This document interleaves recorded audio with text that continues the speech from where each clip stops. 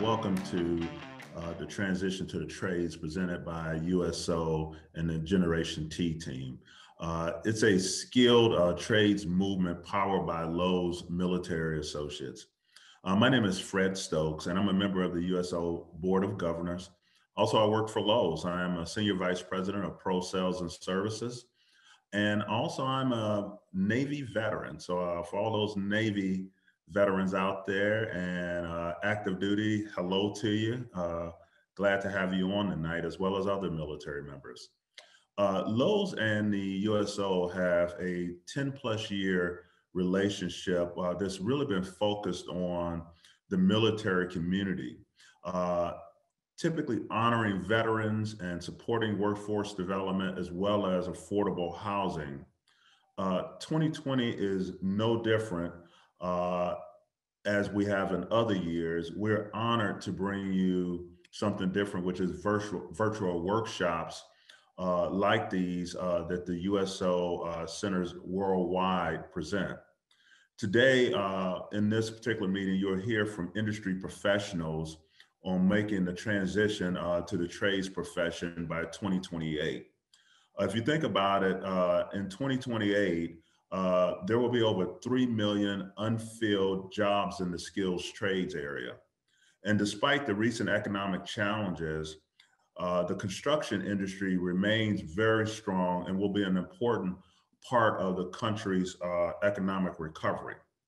Uh, Generation T was founded by Lowe's uh, in 2018 to help revitalize the skills trade and also create career opportunities for uh, people like yourselves. Uh, it's a collaboration of over 80 nationwide partners working to influence uh, American public to challenge and change the perception of the trade skills. The world of skilled trades professionals is probably much different than what you might think. Today, advancements in technology will help us build bigger and stronger if you really think about or you're curious about what your future might look like, uh, I invite you to uh, follow along and we'll show a video here in a few minutes uh, that shares a little bit more about Generation T. What I will also share with you is this. I, I think uh, whether you're a military veteran or if you're currently in the military or you might be a spouse of someone in the military and you've really, really been the support of a military member, uh, there's often challenges that you run into, especially getting out of the uh, military. I recall uh, I was an E5 and AZ, and as I started filling out applications and everything else, it was really hard for people to understand what my skill sets were or to be able to transition them over into uh, corporate America that was one aspect. But what you'll find is that as you start to look deeper, your skills are extremely transferable. But if you think about the trades industry as in uh, a general, today, like unlike when I was in high school, there were things carpenters, you can go to mechanic shops and all those different things. A lot of those resources have been removed from schools. And one thing that people may not realize is that these are really good jobs that pay good money day in and day out. And those trades are diminishing every day. And so there's a skilled workforce that's there and jobs just waiting for people. And there are people in the military or spouses of military members that have some skills that can transfer over into the trades. All you gotta do is learn a trade uh, it's not often we know what we want to do. And sometimes we get into the military because we really don't know what to do. But what I will share with you is that's been my life. And you could have never told me in a million years that I would be a senior vice president of a Fortune 50 company. But that was years after going into the military at 17, uh, becoming a law enforcement officer after that, uh, getting my undergrad degree, getting my MBA, and eventually getting with the FBI, uh, working as a special agent. I never thought I'd be in retail. But after the Bureau, I did go into the re- retail environment and covered many different jobs.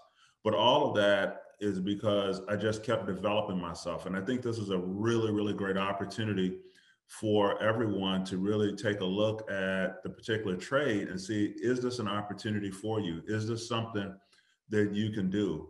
I can guarantee you this if you step in it now, uh, you won't be looking for jobs that often. There are many professionals out there that are looking for skills trades to work in the industry.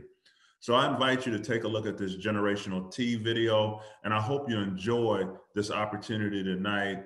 And if you want to look me up and ask a question, I'm available for you. You can look me up on LinkedIn. Uh, I am Fred Stokes. And so just look me up and I can answer any question that you might have. But again, I thank you all. And I thank also the USO for giving me the opportunity and Lowe's as well. Have a great night and have a good time.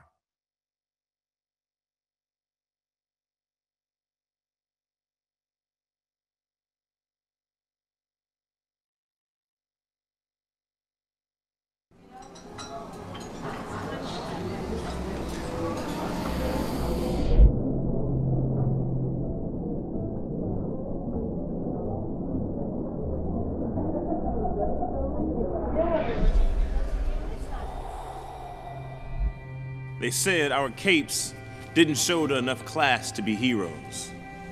They said we were the butt of the joke because we didn't attend their ivies. But they forgot to mention debt is not the prereq to living the dream. You don't have to lean on a desk when you have the drive to design your own league. By design, these hands summon creativity. technology, and trade. Two converging paths, Mother Earth and Mother Board, shaping the terrain for the next generation. We are the rightful journeymen, the waymakers. When the banks crash and the stocks fall, we set the bearings straight. Scrape our knees on sunbeams, hold families together within the framework of our mind, turn businesses into our business, with the vision that keeps the lights on, we build a better world out of thin air. This is the what if for the future masters of trade. The electricians and bricklayers, solar power technicians, energy auditors, tiny home builders for the ones who don't care about the color of a collar.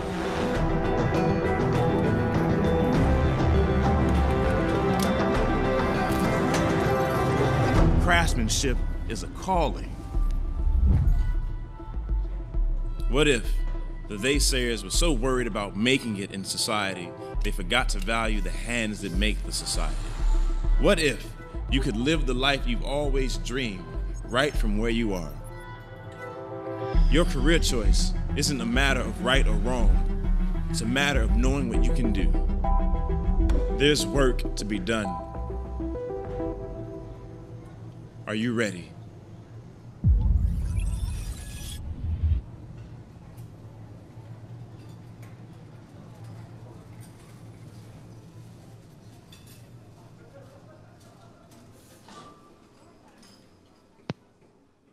All right, everyone. Hope you are ready. We've got lots of great information for you today. So at this time, I'd like to introduce you to Lauren Norman from Lowe's. She's their Pro Customer Engagement Manager who's going to talk more about how Lowe's is working to rebuild the skilled trades. Um, so Lauren, I'll let you take it away.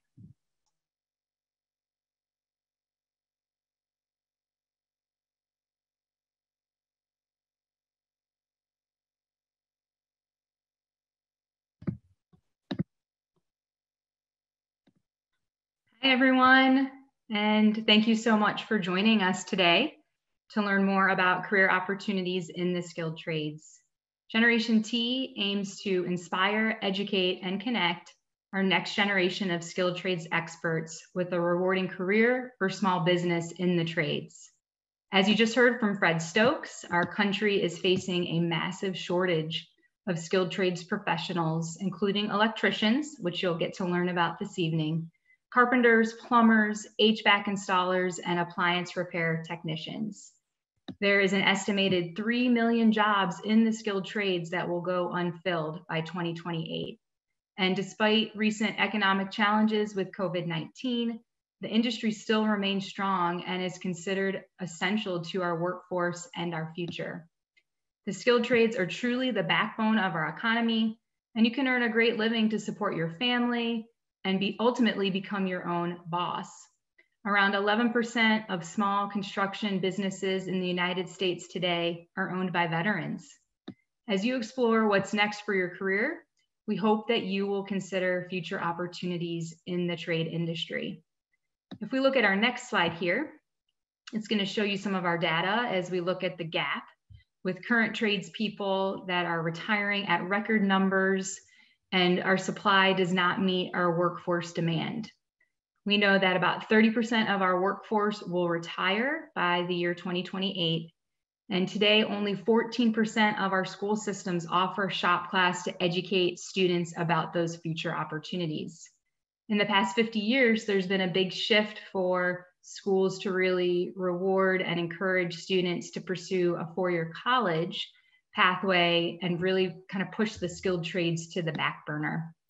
What this means for you is that there is a viable, fulfilling, and profitable future in the skilled trades. It's out there, it's waiting, and it's ready for the taking. There's a variety of opportunities for you to advance in the industry. And today we're going to again focus on what does that electrical pathway look like. When you look at our next slide here, you're going to see, you know, even in our opening video, how the trades, it's not a thing of the past and it's very much about the future. And we're focused on making it cool, right? Making it very much about the crafts, um, using technology and innovation or innovative solutions every day to build, create, and hone your craft from high school students to transitioning service members, veterans, family members like you, we celebrate craftspeople who relish the challenge of creating something out of raw materials and mastering the skills required to do it. It really is a true art and a craft. When we look at our next slide here, this kind of just begins to tee up when you think about the pathway in the electrical field there's such a reliance on electricity in our daily lives.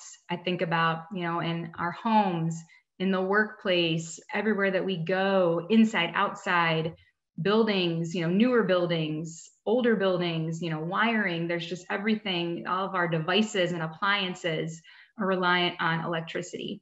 So when you look at the earnings potential, it's very strong for an electrician.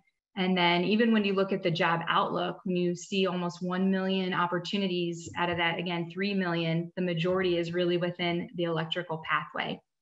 Master electricians, they have intensive training. This is a very specialized field. It can take about two to four years for them to complete their apprenticeship and their formalized training to obtain their license. Um, and then when you look at our next slide here, it'll just kind of walk you through just some of the general duties and requirements of an electrician. There's definitely a lot of potential career paths. I'm really excited for you to be able to hear from our industry expert this evening about just a day in the life and what does it look like, you know, to be out there in the real world as an electrician. Um, safety, you know, is essential when we think about this role. Um, but again, it's very technical in nature, very specialized. You rely very heavily on technical skills and problem solving. But then there's also the opportunity for creativity and variety in your day. And then we kind of look at our next slide here. This just tees up, you know, as you begin to think about next steps and training opportunities. You know, if you're interested in tonight and what you hear, if you know of family members, just wanted to share with you very briefly that here at Lowe's, we have a pre apprentice certificate program called Track to the Trades in which we pay 100% for our associates to pursue one of five pathways to get that, again, more of a pre apprentice certificate. We have appliance repair, carpentry, electrical, HVAC, and plumbing. But after six months of employment, you're eligible to enroll and apply, and it's paid for 100%. So it's just one way that we're able to support the broader Generation T movement for our associates. So without further ado, I feel that you're in for a real treat this evening. Very excited for you to get to hear from Mike Piper from our Lowe's military recruiting team, and then he'll introduce our guest speaker. So I'm going to turn it over to you, Mike. Enjoy.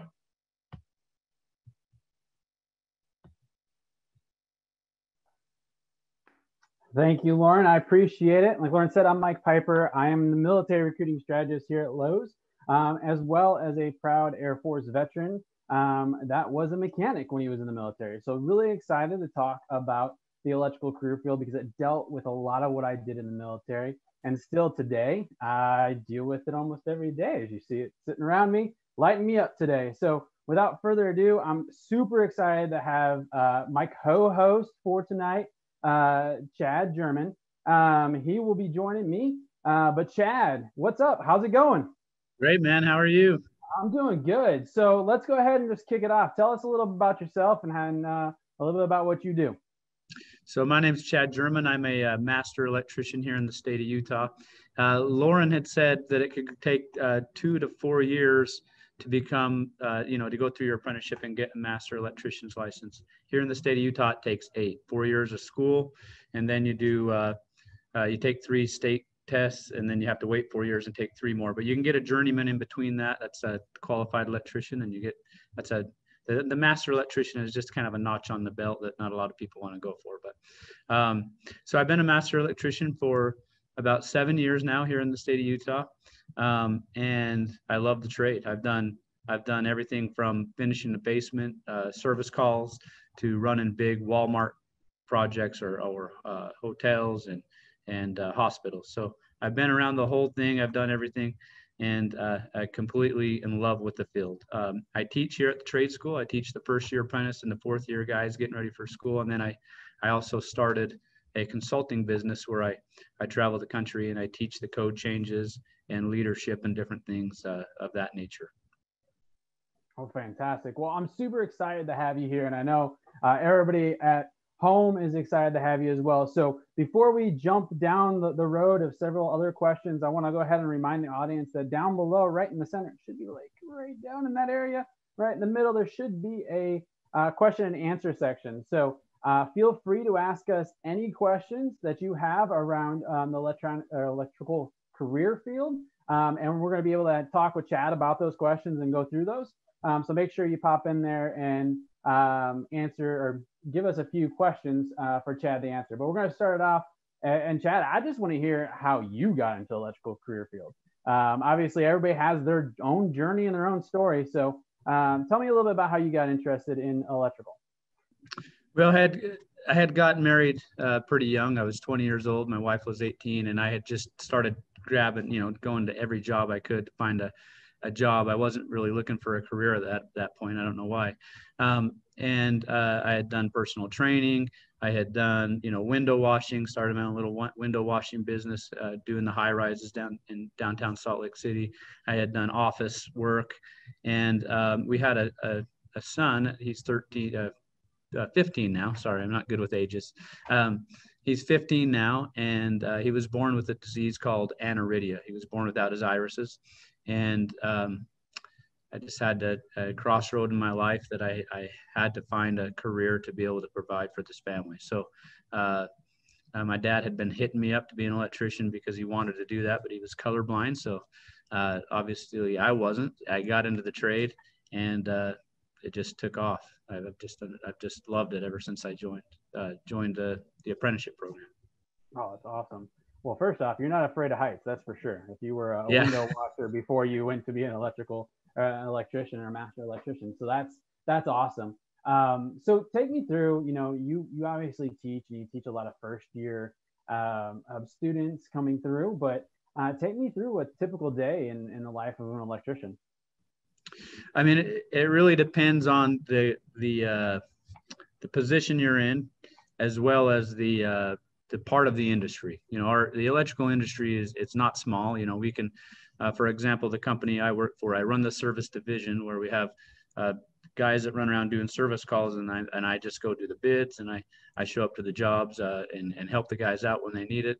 Um, and then we have a residential side, and then we have an industrial side, uh, and then we have a commercial side. So um, all those jobs look a little bit different. You know, the guys doing residential, they're moving a lot faster, just cranking houses out as quick as they can. A, a lot, uh, it's more fast paced than you know what you would of a, a, commercial job, but more technical and more of a skill set on a commercial and a, an industrial job. But for the most part, you got to obviously make sure you're being safe out there. You're you're you're moving and you're uh, you're it's a physical job, um, and then uh, you got to also uh, know what you're you're doing as far as wiring things up. Um, so uh, if you wire something up wrong, you're gonna cause a fire or uh, you know little arc blast or explosion, if you will.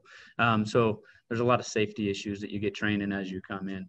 Um, but everybody's day looks a little different. Uh, foreman, uh, when I was running uh, Walmarts and I had 25 guys underneath me, I was in safety meetings and I was in ordering parts and I was lining guys out. I wasn't really an electrician at that point. I was a manager. Um, but you have to go through the apprenticeship program and everything to get to that point. Uh, for the average electrician that's a journeyman electrician, um, obviously you got to size your circuits.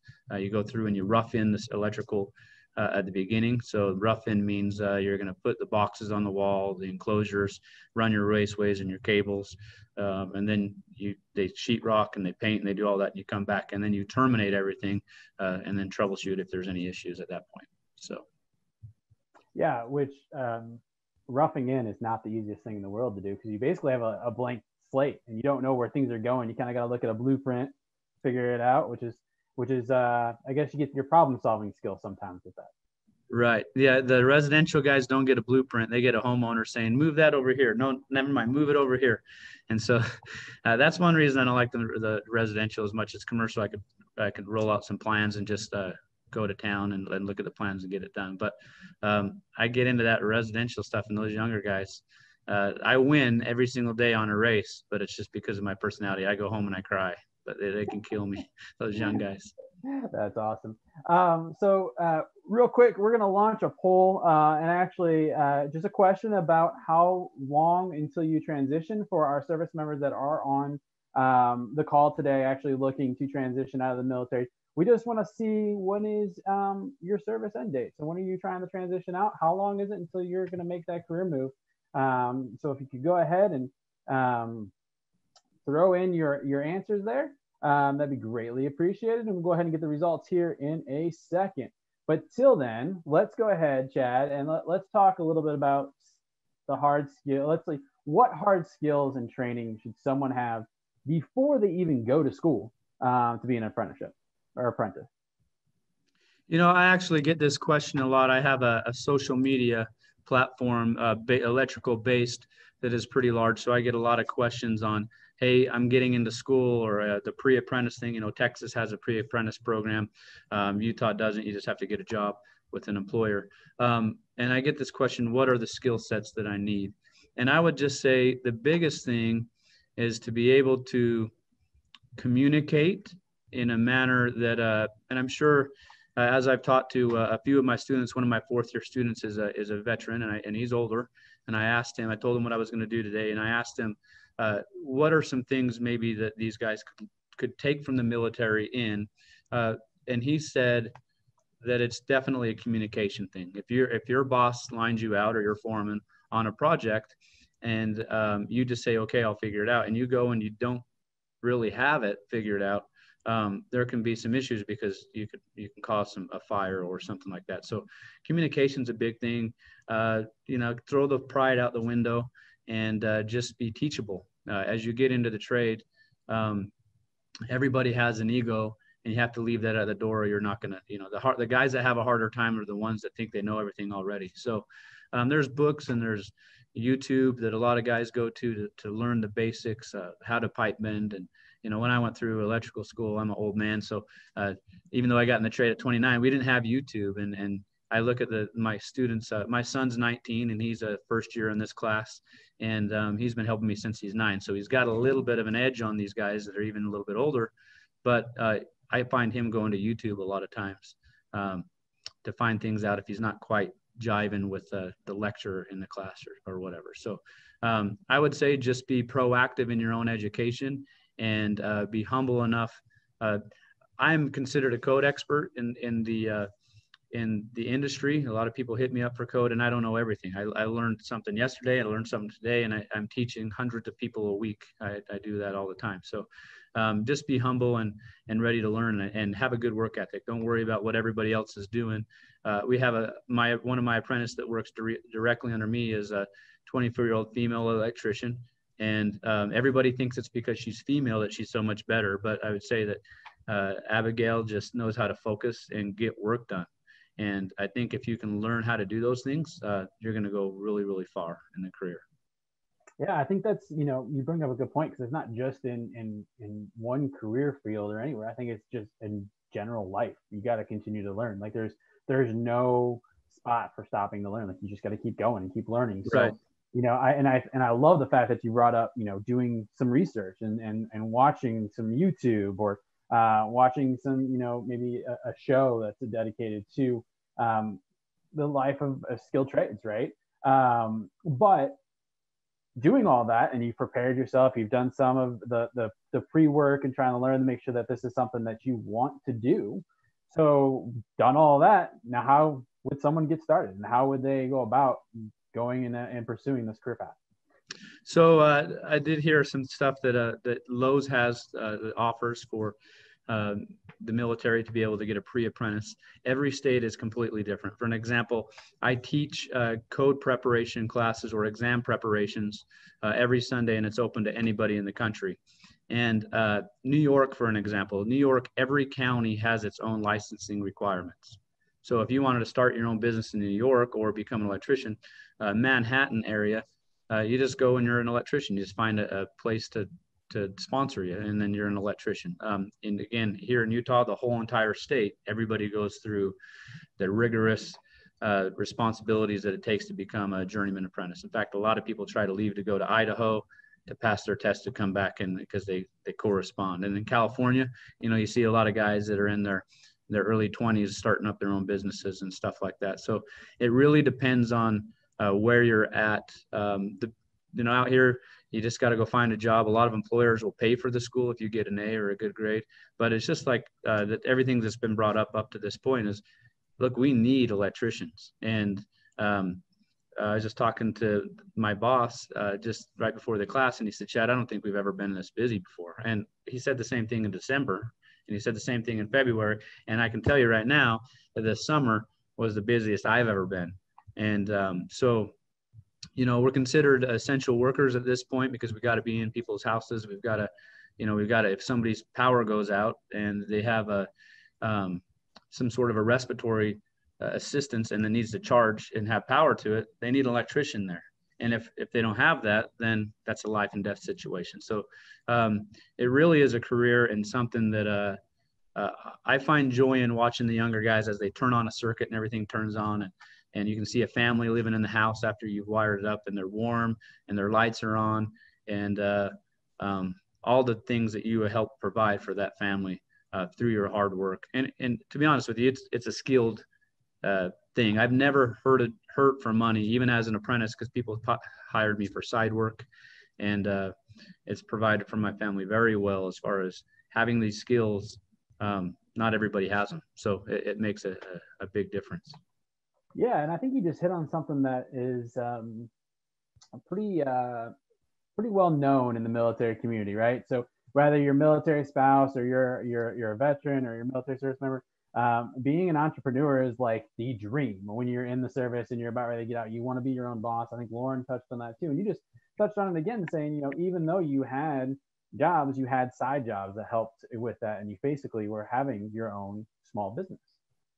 Right. And uh, with that being said, you know, um, I know the guy that I worked for was my original foreman uh, in a big company, and he started his own business, and I was running big jobs, and, and my goal was to start my own business. And so I came with him, and because I wasn't a master yet, you have to have a master's license.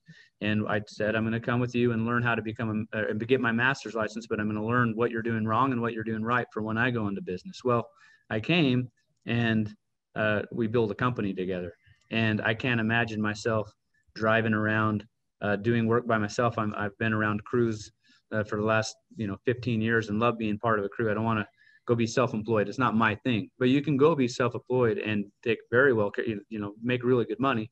Um, again, he, he offered me an office position to sit and be an estimator.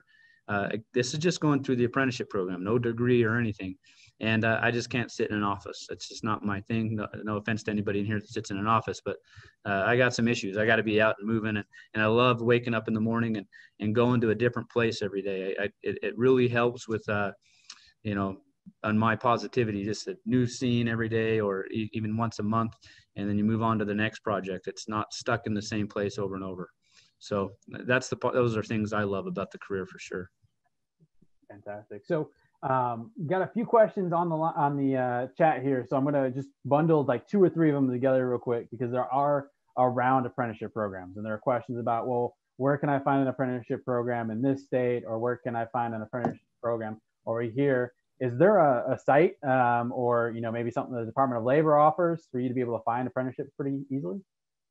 Yeah, I know that there's a few places. In fact, I'm I'm part of a website that's just going to launch here in the future. That's going to have something like that, where you go and you can click on whatever state. You know, you have the you will have a, a map of the the country, and you can click on whatever state, and it will give you the requirements. It will tell you that you know you can click on a city, and it would show you what schools that are available. Right now, MikeHolt.com. Uh, he's a, a you know an industry leader would be a, a kind of a small way to to bring it. Like we all have his books. He's he's a, a close friend of mine, but he's he's the guy right now that's doing all the stuff for teaching and and curriculum. And uh, more things are coming out. Um, and then there's union and non-union stuff like that uh, that has different curriculum. So that's another thing. If you wanted to go union, uh, your union hall provides the J the the um, the schooling for that. And then if you're non-union, uh, you'd have to find a trade school that was close to you. Um, and there's like we have IEC out here that does online only, and then we have like MTech. It's our whole county has the school. So uh, we have five different campuses and stuff like that with ours. So I think if you went to mikeholt.com and looked up trade school near you, uh, I don't know if he has all of them.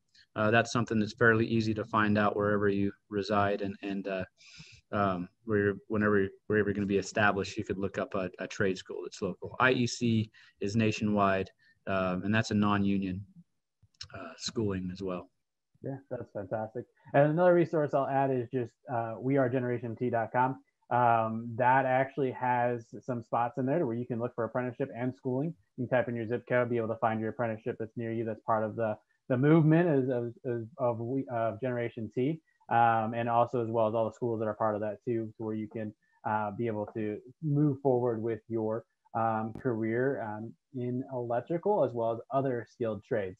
Um, so let's go ahead and I'm gonna we're gonna actually do another question, and it's gonna be um, a little bit different because you mentioned that you have a 15 year old son. So I want to go ahead and talk a little bit about that because when I came out of high school, uh, it was either the military or you know I really liked the skilled trades, and I thought about doing the skilled trades, but chose the military instead because I wanted to get out of my whole my little small town in in Indiana and the cornfields and the sheep farms. Um, but um, the question here that James has is that you know it's uh, as a 13 year old looking to enter the trades after high school in a place of a vocational tech, what can I do during high school to begin the trade skills journey? Now, again, that that's uh, dependent on where you're at. Here in the state of Utah, um, they've they've offered me a position here at the school, and I think I'm going to have to turn it down because of other things that are going on.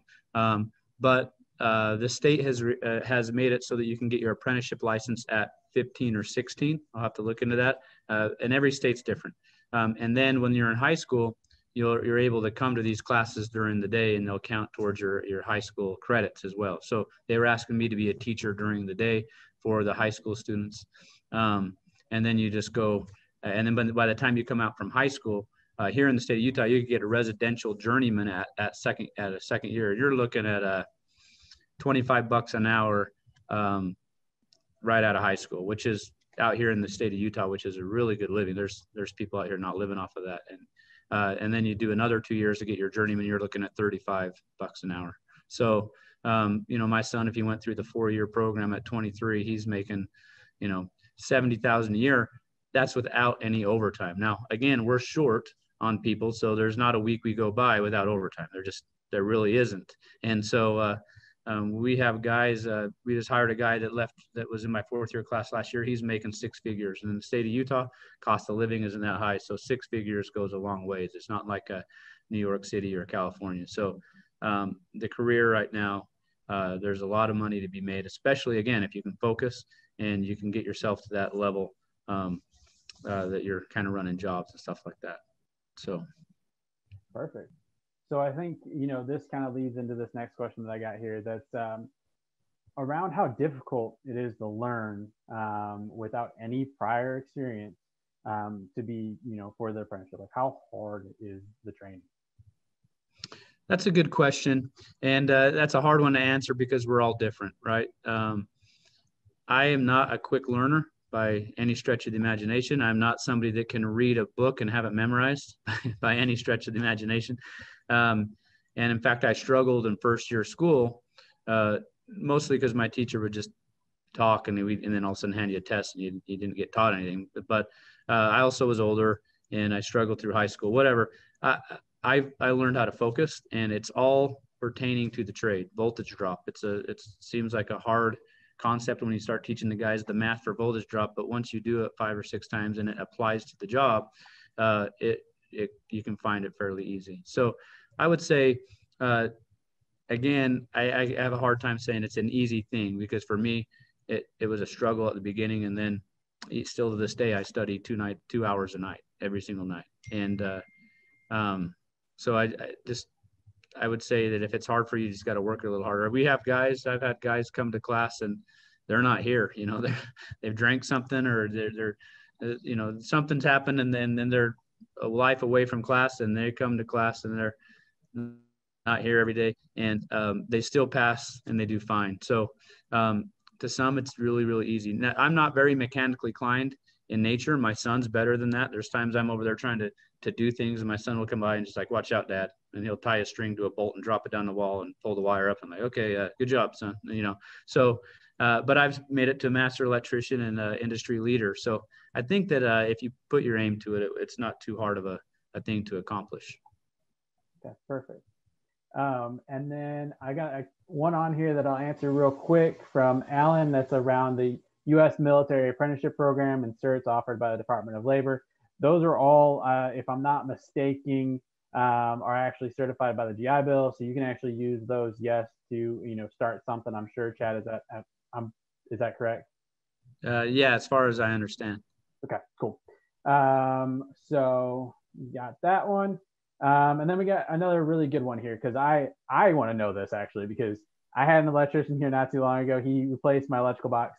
I'll tell you, for one afternoon of work, I I question what I do now. Um, I will tell you that just for him to replace my electrical box and upgrade it, um, I was very uh, questioning if I should move into the electrical career field after that.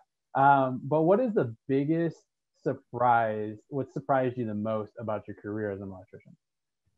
The thing that surprises me the most? Yeah. Um, that's a broad question. Let me. Well, you're talking about like dealing with customers. You know, I've dealt with people out here in Utah. There's a lot of money out here, and so one guy said, "I want you to move these five switches two feet over here," and I was like, um, "Well, there's sheetrock on the wall. You know, you, I'm gonna have to. That's gonna be like seven hours worth of work. Uh, that's gonna cost you like a thousand bucks. I don't care about price." And then uh, you know, a day later when you get it done, he goes, that took forever. I thought it would take five minutes. Like people don't understand the work it would take to like, you know, we can't just splice things in walls and cover it and move it over like people think because there's fire hazards up there. You have to, things have to be accessible. So I had to, you know, unhook everything in that box, pull it up to the attic, fish everything back down, make a splice up in the attic, and then rewire it all. And there was three-way switches and dimmer switches, and it was a, it was a, it was a situation that uh that that guy didn't understand what I had to go to. The crawl spaces, uh, attics. Now, when I say I love being an electrician, I love working in the snow. I love uh, I love the cold. I love the hot. I love I just love you know the toughness of of uh, what it takes to sometimes just get a wire from point A to point B. Uh, so um, if you're, I don't say if you're not into that, but that's the part of the trade I'm in. You, you could go wire PLCs uh, you got to go through the program to get that, and you're standing at a in an assembly line wiring up PLCs, making you know 160,000 a year. That's a, a more of a brain thing than it is a physical labor. So electrical industry can be anywhere from uh, the guy underneath the attic or the crawl space in the attic.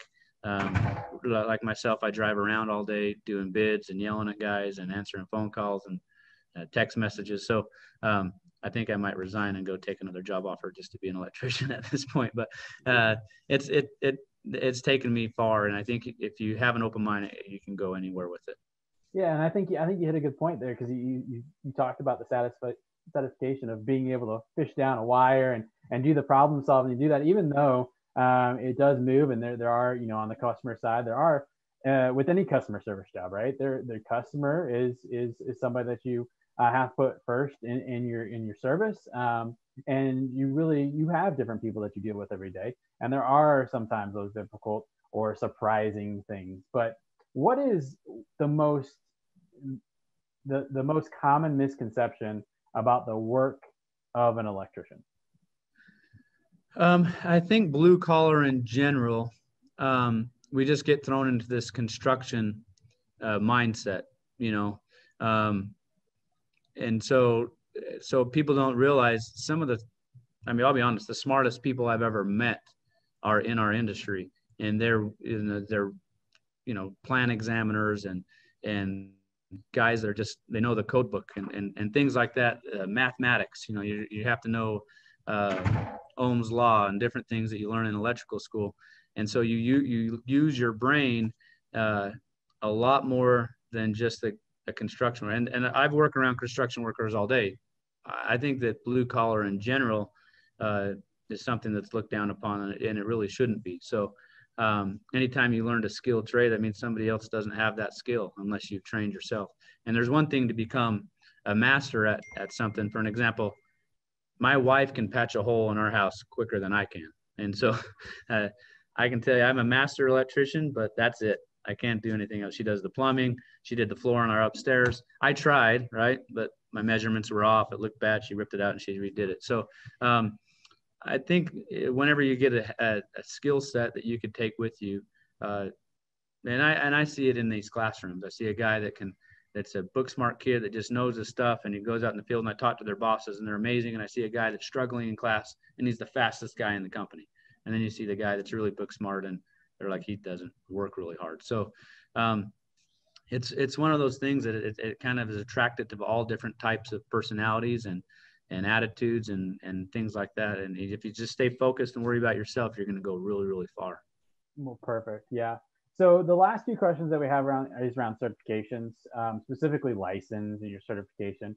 Um, I think you and I would, would probably both agree on this that it's really dependent on on state. Yes, you can transfer between states on some aspects, right? Uh, but each state is is is different, and you should look into it um, based off of your state because what you're going to give for Colorado may not be what New York has or Indiana or California. Um, so would you just say it's best to just maybe take a little bit of time and do a little bit of research on how to and, and what works and what transitions? Yeah, and I think uh, I mean if I think the cool thing about the trade, with all that being said, on picking uh, you know how every state's different and like in, in New York, New York, like I said, every county uh, is has different requirements. Um, I had 35 guys just in New York alone in my last Zoom class on exam prep, and they all had different things to that were going to be on those tests from the different counties. But I would say I could still go to New York. And uh, one thing that's cool about Instagram, I, I'm on Instagram, huge community on electrical. I mean, it's there's hundreds and hundreds of thousands of electricians on there. I could right now take a week off of work and go to uh, uh, uh, Northern California and uh, work for my buddy. And uh, I don't have the licenses to own that business, but I have the skill set to make some money. I can go to, I went to New York with my son for, for a vacation and I met up with about 40 different electricians. We went to lunch, we went to, you know, it was an amazing experience. So, um, even though it seems like it's an independent thing through each uh, each state, it still is a big unit. It, it's it, once you know electrical, you know electrical. The electrical theory isn't different in New York and and uh, Wyoming and Utah. So um, the requirements, I would say, find out where you're going to uh, live after you get done in the military, and uh, or, maybe when you're deciding where you want to live. Um, uh, if you want to be an electrician, maybe look into those requirements, and it would help you. Uh, I went to Mississippi and uh, taught a company out there some leadership stuff, and I want to move to Mississippi. Um, it was it was very humid, very, it was just great people. I loved it out there. But uh, the requirements out in Mississippi aren't like they are out here. So I could easily just jump over there, pass one of their tests, and, and be an electrician in, in the state of Mississippi. Yeah, and, and that's fantastic. Um, I know, you know, is there just because I, I did see one of our military spouses actually asking a question around licensing and certification. because obviously when you're in the service, um, sometimes you're moving every 18 months, and and when you you try to become you know an electrician and you got to keep getting certified, are there fees associated with all these certifications? There are, but a lot of times what you do is you find a company to hire you. Uh, I had a buddy from England. He uh, he came. His dad lived in California. His mom was from England. Uh, he was in the. His dad was in the military, uh, stationed in England. He got married to his mom. Ended up getting a divorce, coming back anyway. So he's a dual citizen. He came here at, at 21, uh, and the training he had in in, in uh, England was way more extensive than what we have to do here in the US. So he came here, just walked into a Walmart that was a construction site and said, Hey, can you hire me? And they hired him. And the company ended up uh, not only hiring him, but bringing him here to Utah, paying for a, a place for him to get started, helped him with the licensing fees. Get, you know, we are looking for electricians. So it's not going to be hard um, to find a job. If you are willing and you go out and you, you hit a couple doors and you say, Hey, look, if you can sponsor me for a license and get me in school, I'll work. You know, I, am pretty sure you'll find a job. So perfect. That's fantastic.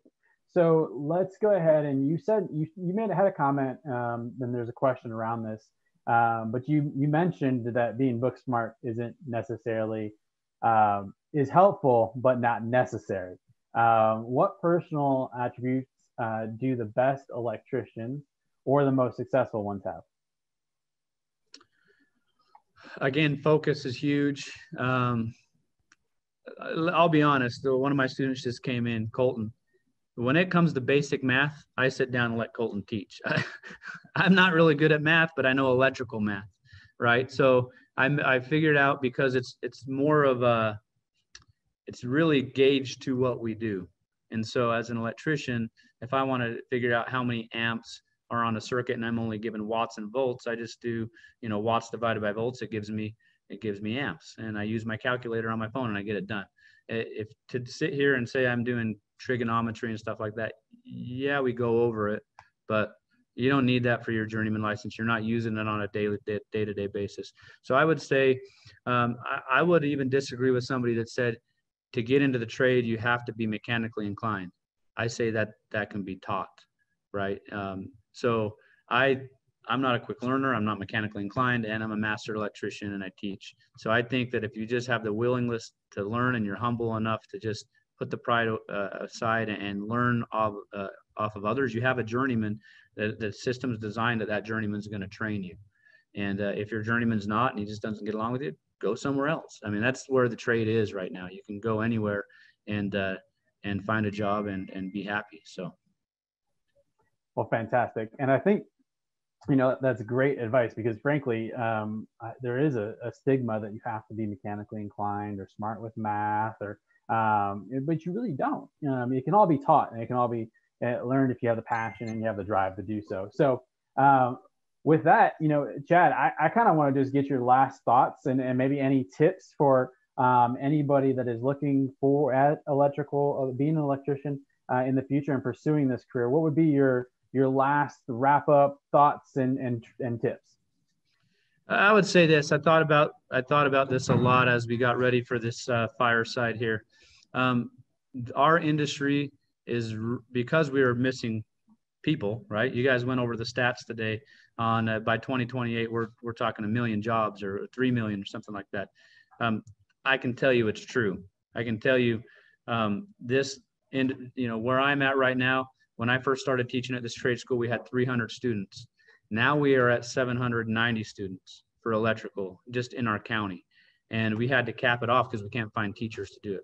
The one thing we're missing that I think you guys in the military can bring to our field is leadership. Um, we learned through the Refiners Fire out here. Uh, when I, I remember I got my my journeyman license and the company I worked for said, okay, well, here's a $900,000 project. I don't know any other industry that doesn't train you for uh, business or budget or anything like that that's going to hand you over a $900,000 project and say, here, you're the boss over this. But our trade does that. You know, you go through the trade, you learn how to do the electrical stuff and you learn how to uh, wire things up and bend conduit and pull wire. And oh, here, here you go. You're in charge of $900,000 project and you got 25 guys to get the job done. And uh, the later you stay on a job, the more you take responsibility for that job, you know, the better they pat you on the back. And you learn the hard way that you know, ordering parts, you know, first thing in the morning and lining guys out and and getting on people to keep busy. Those are the things that you have to learn, not through training. And so, uh, if you guys that have been in the military, um, you naturally are going to have uh, more leadership skills than somebody that didn't. So if you guys can come into this industry, focus, uh, swallow the pride, become a quick learner. Uh, when I say become a quick learner, swallow the pride so that you can become a quick learner, and then pay attention to those leadership opportunities so that uh, that's where our industry really needs is, is, is leaders in the in, in the field and in the offices. So I think that you guys bring that to the table for sure. And if there's any women in this uh, in this audience listening, I like I said, my apprentice is a is a female electrician. It's you get on the Instagram community uh, with the electricians. There's plenty of women in there. It's not something that you have to be this big, burly, strong, quick-witted guy to be an electrician. Um, like I said, my son, who's 19, comes in and he, he he'll wipe the floor with anybody in our company because he's been doing it for so long. So, um, yeah, I just say you guys bring that leadership and positive attitudes into the field, and you guys will be able to definitely uh, have be able to help the industry for sure. Well, fantastic. Well, Chad, I, I can't tell you how much I enjoyed our time. I really appreciate you joining me uh, tonight for our little fireside chat around uh, becoming an electrician. But I want to go ahead and just pull up the next slide here um, and just a, a, big thank you. Uh, but we want to go ahead and give three little areas to where you can continue to explore the career trades of being an electrician. So we have what we talked about earlier. We have learn more about the trades uh, in general, all the trades with wearegenerationt.com. You can actually, like I said, look up an apprenticeship at that uh, with that website. You can find schooling in your zip code with that website, and you can also explore the trades a little bit more. Figure out if it's for you or not. Um, you can connect with your USO Pathfinder transition specialist. Highly, highly recommend that. Um, it's one-on-one support, something that uh, when I got out of the military, I wish I would have had. I wish I would have had somebody there to support me um, a little bit closer than what the transition um, TAPS classes for the Air Force had at that time. Uh, great program. I know most of the transition coaches with USO. They're all fantastic people. They will help you. They have you in mind.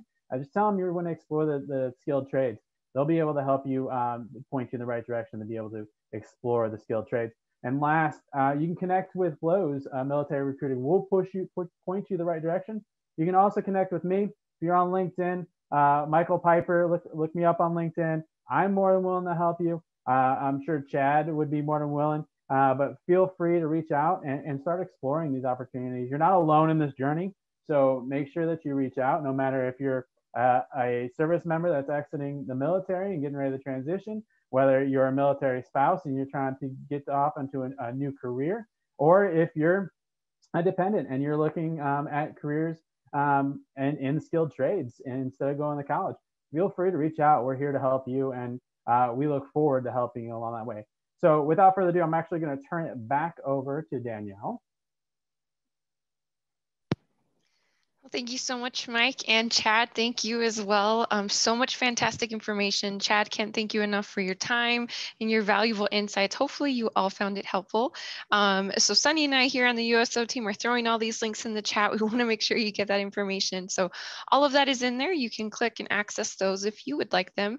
I also just quickly wanted to mention, if you happen to miss our transition to the trade series in November, we did host sessions just like this. One was about the HVAC industry industry, and the other was about plumbing. So not to worry if you miss them, we're getting the links in the chat now for where you can find those on YouTube. Um, or as I like to say, pay it forward. If there's someone you know who's interested in those trades, please do pass that along to them so they can check that out and get lots of great information just like y'all got today. And in terms of um, penciling in in those calendars and saving the dates for future stuff, please keep an eye on uso.org slash MVP. That is a fantastic way to keep in touch with us and see what we have to offer in the world of military virtual programming. So that is everything and anything the USO does, whether it be entertainers or um, great transition webinars just like this one today. So that website one more time is uso.org slash MVP, and that's where you can keep keep an eye on our calendar and also register for upcoming events, which I assure you we'll have many more this year. Um, next week, we're going to host the next edition of this Transition to the Trade series, and we will be talking about appliance repair. So if you're on the fence, kind of getting information about different trades, we invite you to join us again. That is next week, same time, same place, uh, Tuesday, January 19th at 7 p.m. Eastern here on Zoom. So um, once again, thank you so much for joining us, everyone. For those of you who are still hanging on, we do have a very special announcement. So hopefully we still got plenty of you here. Um, and special thanks to Southwire for sponsoring this. I am really excited to share with you all that we have a sweepstakes that you are eligible to enter um, for being one of our fantastic attendees in uh, today's webinar. So really quick and easy. If you would like to enter the sweepstakes, you can be the lucky winner of an electrician apprenticeship tool starter pack. Um, so great way to get um, a leg up in this new career if that's if you fit the bill there. So if you are interested, we've got more information up on the screen, but real easy. You've got until January 16th to just go in and complete a really um, brief three question survey. So that's the way that you enter the sweepstakes. Um, give us your information, tell us you're interested, and then we'll be doing a random drawing to select a lucky winner.